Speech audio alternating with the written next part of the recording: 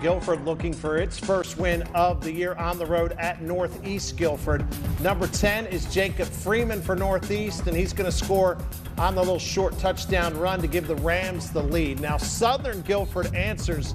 Number four is Zion Johnson. He's going to find a little room, scores the touchdown for the Storm. Northeast back with the ball, but the pass attempt is picked off.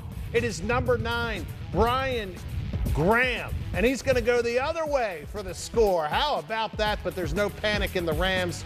Cordan Wilson scores and Northeast Guilford beats Southern tonight 33 12, the final score.